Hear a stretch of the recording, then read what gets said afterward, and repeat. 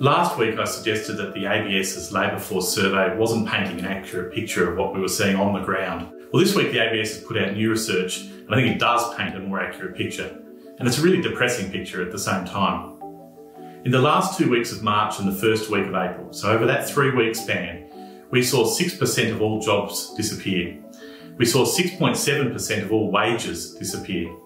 That means 780,000 jobs were lost. Some people may have had more than one job, so it's hard to say it's 780,000 people, but you get the picture. It's a big number in a very short period of time. In fact, it's the biggest number that we've ever seen on record. Those jobs were most concentrated in the accommodation and food services sector. In that sector, 25.6% of all jobs were lost and over 30% of salaries were lost.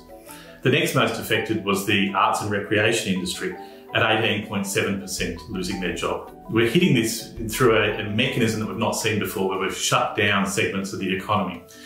But unfortunately, some things stay the same in every recession. And one of those is those that are hardest hit tend to be the young. The ABS survey identified that 9.9% of jobs were lost for people under the age of 20. We've seen this as a consistent pattern in every recession.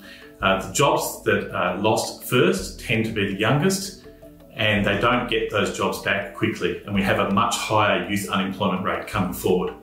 So this is something we're going to have to be thinking about, both as employers, thinking of new pathways and trying to train people, but equally, um, it's something we're going to have to build into thinking about how we support the young so we don't have established youth unemployment.